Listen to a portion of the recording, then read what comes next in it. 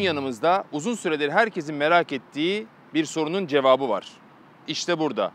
Dacia Stepway. Şimdi bu Stepway'i kim niye merak etsin diye soracaksınız doğal olarak. Bu Stepway olduğu için değil, üretilen ilk otomatik Dacia modeli olduğu için şu an yanımızda. Dacia 1966 yılında Romanya hükümetinin açtığı ihale sonucu kurulmuş bir otomobil fabrikası. Adını Romanya'nın topraklarının eski adı olan Dacia'dan alıyor. Direkt Dacia olarak yazılıyor. 1966 yılında kurulmuş ve sonrasında 1968 yılında Renault'un Renault 8 modelini üretmeye başlamış. 1969 ise bizim için önemli bir yıl. Dacia ve bizim için önemli bir yıl. Çünkü Renault 12 modeli Fransa'da üretime başladığı zaman aynı zamanda Romanya'da da başlamış. Burada atlanılmaması gereken önemli bir detay var. Türkiye'de de üretilen Renault 12 modeli 1971 yılında başlamıştı. Yani Dacia Romanya'da Renault 12'yi bizden 2 yıl önce üretmeye başlamış. 1999 yılı ise Dacia için bir milat yılı. Çünkü Renault, Dacia'nın %99 daha fazla hissesini satın almış. Ve o günden beri Dacia resmi olarak Renault markası altında devam ediyor. Bu birleşim Dacia'yı çok farklı yerlere getirmiş. Renault Dacia'yı farklı bir şekilde konumlandırıyor. Tıpkı Volkswagen'in Skoda'yı konumlandırdığı gibi. Yani Renault'un bir alt markası, daha ucuz, ulaşılabilir, sağlam ve Renault güvencesi altında otomobiller üreten bir marka. Şimdi Dacia'yı sorarsak Roman olduğunu biliyorsunuz ama Roman'dan daha çok insanlar bunu Fransız olarak algılıyorlar. Çünkü motor, şanzıman, yürüyen aksam ve mekanik olan, elektronik olan birçok aksamı Renault tarafından üretiliyor ve Renault'un modellerinde de kullanılıyor. O yüzden aslında Dacia'yı kılıfı değiştirilmiş, üstü kebi değiştirilmiş bir Renault olarak algılayabiliriz. Dacia şu anda çok fazla otomobil üretmiyor farklı modeller olarak. Daha az kapasitede, daha kompakt ve daha çok satılabilen modeller üretiyor. Üzerine çok fazla aksesuar da konmuyor. Fazla donanım da koymuyor. Çünkü mümkün olduğunca fiyatı aşağıda tutmaya çalışıyor ki Renault modellerinden fiyat olarak oldukça aşağıda kalsın diye. Dacia'nın şimdiye kadar da hiç otomatik şanzıman kullanmamış olması da bu felsefesinin bir parçası. Dacia müşterileri artık o kadar çok ısrar ettiler ki bayiye gittiler, yönetime mail attılar, yönetimi aramaya çalıştılar, bir yerlere ulaşmaya çalıştılar. Hep otomatik şanzımanlı bir Dacia'mız olsun diye ve Dacia da artık onları dinledi ve otomatik şanzımanını nihayet devreye soktu. Bunu yaklaşık 2 yıl kadar önce Paris Motor Show'da da yöneticilere sormuştuk. Zaten toplantıya girdiğimiz zaman otomobil gazetecilerin hepsi, neredeyse hepsi otomatik şanzıman ne zaman gelecek, ne zaman gelecek diye sordular. Onlar da o zamandan zaten müjdeyi vermişti. Kullanmak ise artık bugüne nasip oldu. Dacia'nın otomatik şanzımanı şimdilik sadece Sandero Stepway modelinde geliyor. Sandero'nun biliyorsunuz Türkiye'de iki farklı modeli var. Ambiyans olarak geliyor ve Stepway olarak geliyor. Stepway biraz daha outdoor kullanım için olan yani biraz daha SUV crossover görünümlü olan modeli. Daha büyük jantlar, yan tarafta çamurluklardan başlayan ve tampon hatlarından devam eden korumalar bu otomobili daha şık bir görünüme kavuşturuyor. Bu sayede de insanlar Stepway'i çok sevdiler. Otomatik şanzıman Sandero'nun ambiyans modelinde gelmiyor. Sadece Stepway'de geliyor. Stepway ve ambiyans arasında zaten motorlar da farklı. Stepway'de iki motor kullanılıyor. 0.9 litrelik 3 silindirli turbo motor 90 beygir gücünde benzinli tabii ki bu. Bir de dizel versiyonu var. Dizel versiyonu zaten tüm Renault modellerinden bildiğimiz 1.5 DCi. Bu da 90 beygir gücünde. EasyR olarak adlandırılan otomatik şanzımanda iki versiyonda da bulunuyor. Yani benzinli ve dizelde de bulunuyor. Stepway'de sadece. Benzinli de 5 ileri olarak bulunan EasyR şanzıman dizel versiyon olan yani bu Tesla otomobilimiz gibi dizel versiyonda 6 ileri olarak sunuluyor. Peki Dacia bu şanzıman konusunu nasıl yapmış?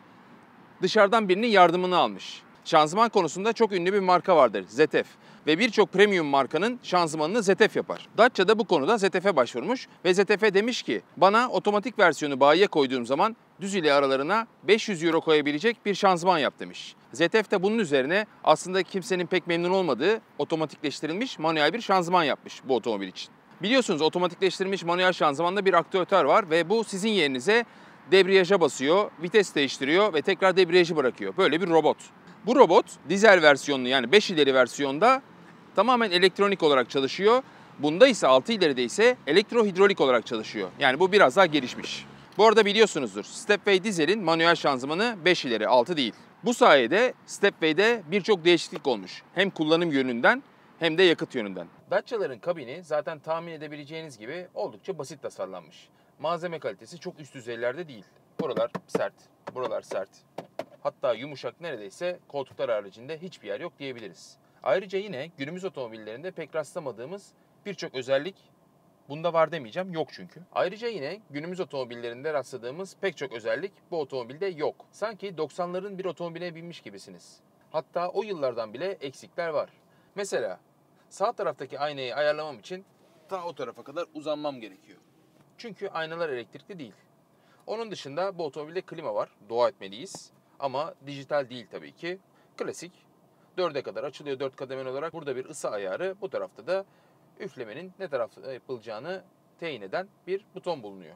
Bunun hemen altında bir sürü buton var diyeceğim ama başka bir buton yok. Sadece cam açma butonları burada. Şu kapıya kablo çekmenin maliyetini bile fazla görmüşler.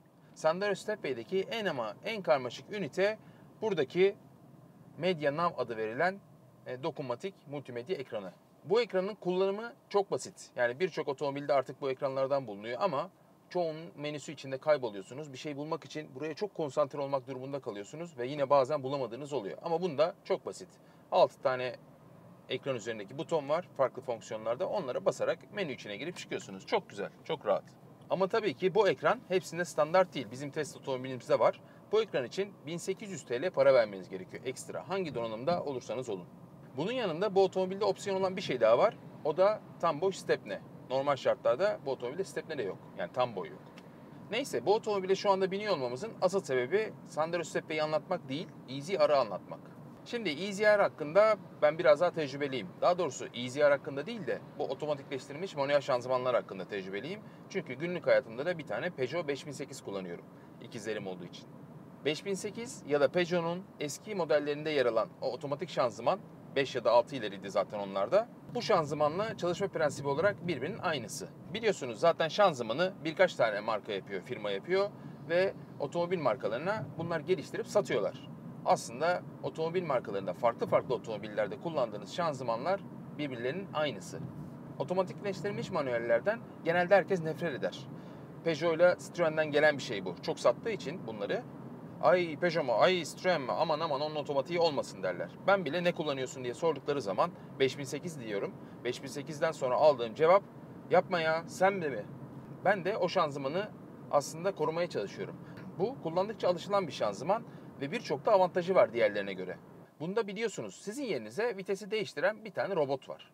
Debriyaja basıyor, vites değiştiriyor, tekrar debriyajdan ayağını kaldırıyor ve yoluna devam ediyor. Bu nedenle aslında bunu manuel olarak da görebiliriz.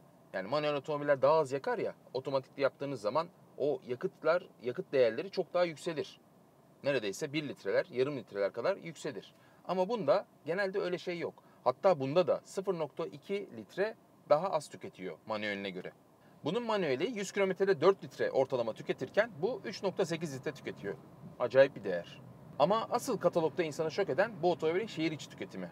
Manueli 4.6, bunda ise 3.9 şehir içindeki tüketimden bahsediyorum. Bu da diğer markalarla ve motorlarla kıyasladığınız zaman çok iyi bir değer. Tabii ki bu otomobilin az tüketmesi sadece Renault'un o meşhur 1.5 DCi motorundan gelmiyor. Bu otomobil aynı zamanda hafif de diğer modellere göre. Çünkü üzerinde fazla malzeme yok, donanım yok, elektronik yok. Bu yüzden oldukça hafif. 1158 kilo. EasyR'ın manuelle karşılaştırmalı olarak teknik verilerine devam edersem, manuel son sürat olarak 173 kilometreye ulaşırken bunda 166 kilometrede kalıyorsunuz. 6 ileri olmasına rağmen. Ya da manuelde 12.1 saniyede 100 kilometreye çıkarken bunda 0.1 saniye iyileştiriyorsunuz ve tam 12 saniyede 100 kilometreye çıkıyorsunuz. Yani robot ama sizden daha hızlı vites değiştiriyor. Şaka şaka. Aslında bu tam öyle değil. Çünkü bu 6 ileri, sizin kullanacağınız manuel 5 ileri. Oranlardan dolayı bu otomobilin hızlanması daha kısa şanzıman gibi olduğu için oranlar daha iyi. 90 beygir gücünü manuel olan 3750 devirde verirken bunda maksimum güç 4000'de geliyor. Tork ise hem değeri hem de devir olarak aynı. 220 Nm 1750 devirden itibaren. Şimdi bu otomobili kullanırken insanların şikayet ettiği konu vites atarken bazıları der ki buna namaza duruyorsun, hacı yatmaz. O niye oluyor biliyor musunuz? Siz hızlanmak için gaza basıyorsunuz ama vitesi ne zaman değiştireceğini bilemiyorsunuz. Vitesi değiştireceği zaman da o bir anda debriyaja basıyor. Ve tabii ki siz gaz ivmesiyle beraber hızlanırken debriyaja bastan bir anda ivmeden düşüyorsunuz. Ve sonra vites atmak istiyor, bir üst vitese geçmek istiyor. Ama devri çok gördüğü için biraz da sert değişim olmasın diye debriyajı yavaşça bırakıyor. Bu da ne yapıyor? Sizin ivmede hızlanmanız böyleyken gazı kestiği an öne geliyorsunuz ve o ön tarafta çok kalıyorsunuz. Çünkü vites atamıyor sizin ayağınız hala gazda olduğu için. Bunun şöyle bir yöntemi var. Zamanla çok rahat alışılıyor hiç merak etmeyin. Gaza basıyorsunuz. Vites değişeceği zamanları zaten az çok sizin otomobiliniz olduğu zaman bu anlayacağınız için, öngöreceğiniz için orada ya da vites değiştirmeye başladığında zaten hissediyorsunuz. Gazdan ayağınızı çekiyorsunuz. O hemen vitesini değiştiriyor. Tekrar gaza basıyorsunuz. Bu kadar basit. Eğer böyle kullanırsanız bu şanzıman bence müthiş. Hatta bildiğimiz standart otomatik şanzımanlardan birçok konuda iyi bile. Kullanımı çok basit. Vites kolunda bir N var. R, ileri ittiğiniz zaman geri vites, size doğru çektiğiniz zaman drive alıyorsunuz ve gitmeye başlıyorsunuz. Bunda park diye bir konum yok. P konumu. Yani ne yapıyorsunuz? Ötekiler gibi, Peugeot'lar gibi yani. Boşa alıyorsunuz ve el frenini çekiyorsunuz. He, bu arada drive'dayken yokuşta kaldığınız zaman arkaya kaydırmıyor. Yani kaydırmama desteği var. O da iyi bir konu. Bu otomobil için iyi bir elektronik. Bu otomobilde yine donanım derseniz mesela arka camlar da elle açılıyor. Sadece ön camlar otomatik. Park sensörü falan diye bir şey yok burada ekran olmasına rağmen. Ama muhtemelen taktırabiliyorsunuzdur sonradan ve ekranda onu görebiliyorsunuzdur AUX girişinden. İşte USB girişi var. Ön tarafta çok rahat kullanabiliyorsunuz. Onun dışında başka bir özellik yok. İki tane bardaklığımız var. Şurada bir Eco tuşu var. Eco tuşu da start stop sistemini çalıştırıyor. Ya da devre dışı bırakıyor diyeyim. Daha doğru olur. Bir de şurada bir gözümüz var. Bu da açık bir göz. Yani buraya ne konur bilemiyorum. Daha çok buraya bir havlu, üzerine bir kül tablası koyulur. Burada rahat rahat sigara içersiniz. Yani şanzımanı özetlersek bu şanzıman bu otomobile, bu motora gayet uyumlu olarak çalışıyor. He, yani bu 1.5 DC'nin başka versiyonları yok mu otomatik olarak çalışan? Başka markalarda var tabii ki. Ama Dacia bunu uygun görmüş. İlk başta bir hedefi vardı ya 500 Euro'ya bir şanzıman diye. Onu yapmaya çalışmış. Evet Avrupa'da tutmuş ama Türkiye'de 500 Euro biraz aşmış. 1500 Euro'lar gibi bir fazla para vermeniz gerekiyor. Yani bu otomobili almak için tam tamına 5000 TL fazla para vermeniz gerekiyor. Bu sizin bileceğiniz bir iş. Sonuçta Dacia'yı ucuz bir otomobil olsun diye alıyorsunuz. Ucuz otomobili aldın mı kötü otomobil almıyorsunuz ama sakın yanlış anlamayın. Ben hatta Dacia'yı fazla fazla seviyorum. Çünkü mekanik bir otomobil. Her şeyini hissediyorsunuz. Size fazla karışmıyor. He, çok fazla elektroniği ya da işte aşırı güvenlik elektronik sistemleri yok. Ama oldukça yeterli. Yine airbag'imiz var, ABS'miz var, bir sürü şeyimiz var. Euro NCAP testlerine giriyor, oradan iyi puanlar alıyor. Yani Dacia konusunda, güvenlik konusunda hiçbir sıkıntı yok. Bu otomobilin artı özelliği işte o saydığım donanımların zamanla arızalanması ihtimali bunda yok. O yüzden tepe tepe uzun süreler Dacia otomobilinizi aldığınız gibi kullanabilirsiniz ilk sahibinden. Zaten Renault da buna 3 yıl 100 bin kilometre garanti veriyor. Şimdi gelelim en önemli konuya. Bu otomobili alır mısın almaz mısın konusuna. Çünkü bu otomobilin fiyatı kaç para biliyor musunuz? 57.200 TL. Hatta şu anda Ağustos 2016 itibariyle bir kampanya var. Tavsiye edilen fiyatı üzerinden. 55.700 TL'ye bunu alabiliyorsunuz. Test otomobilimizdeki medya nav sistemi ve artı stepney'i de eklediğiniz zaman bu fiyat 57.900 TL alıyor. 57.900 TL'ye de dizel otomatik bir araç gayet mantıklı. Ama bu otomobilin bazı ne derseniz ha, bir Sandero almak için bundan 20.000 TL daha az verebiliyorsunuz. 38.000 liraya Dacia Sandero Ambiance modeli alabiliyorsunuz. Benzinli 75 beygir gücünde.